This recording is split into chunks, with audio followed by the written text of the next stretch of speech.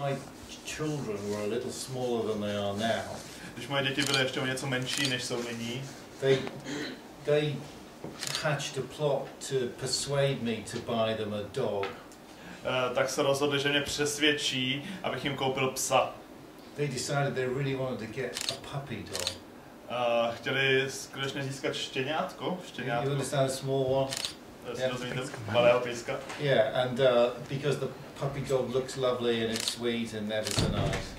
A protože štěňátka vždycky jsou tak úžasná a pěkná, And I, did, milá. I didn't think this was a good idea. A já jsem si nemyslel, že to je nějak dobrý nápad. It wouldn't have worked in our housing situation. Tehdy by to nějak nefungovalo v tom eh, domě, kde jsme bydleli. Who's going to take the dog out at night for walks? A kdo bude chodit s tím psem na procházku več v noci, večer. So they tried really hard to persuade me. They put little, they stuck pictures of dogs up on the front of the fridge. Ale oni opravdu šli na to hodně tvrdě a snažili se mě přesvědčit tak, že namalovali obrázek pejska a dali ho na lednici.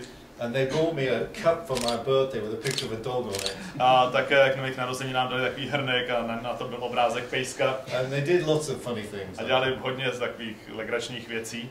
And the reason why I didn't think it was a good idea A ten důvod, proč jsem si nemyslel, že to je dobrý nápad, was that I had a dog when I was a child. protože já sám jsem měl psa, když jsem byl dítě. And I knew that a puppy dog is so sweet A já jsem věděl, že to štěňátko je tak uh, rostomilé. and it has a lovely, cute face A má krásný obličejček and is so affectionate.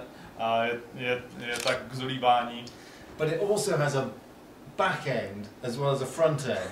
Ale má to taky svoji stěnou stránku, nejen tu pozitivní. And the back end takes quite a lot of looking after.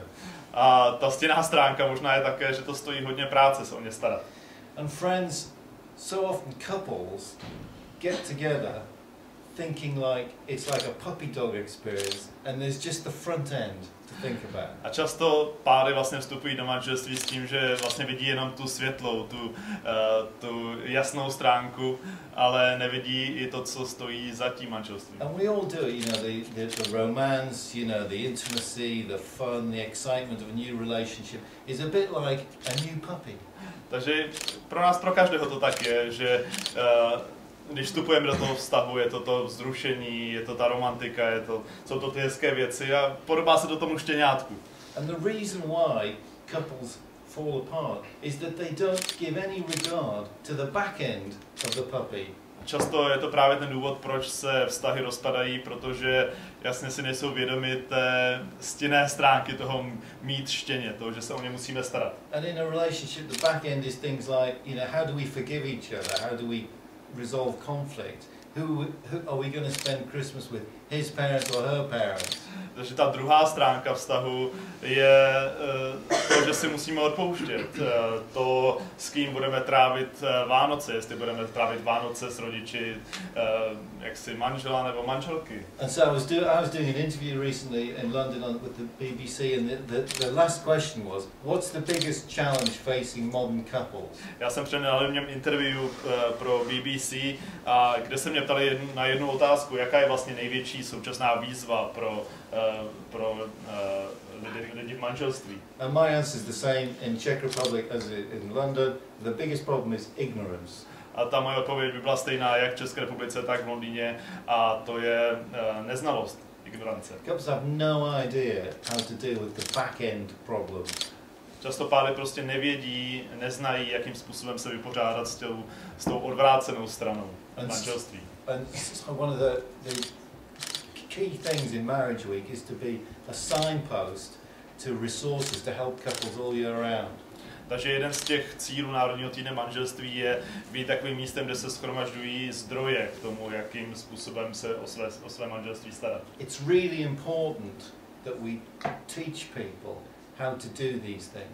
Je skutečně důležité eh, lidi učit tomu, jak tyto věci dělat. Really important. Skutečně důležité. And so, uh, two weeks ago, I was really happy to be involved in the launch event for Marriage Week in the USA, in the Senate.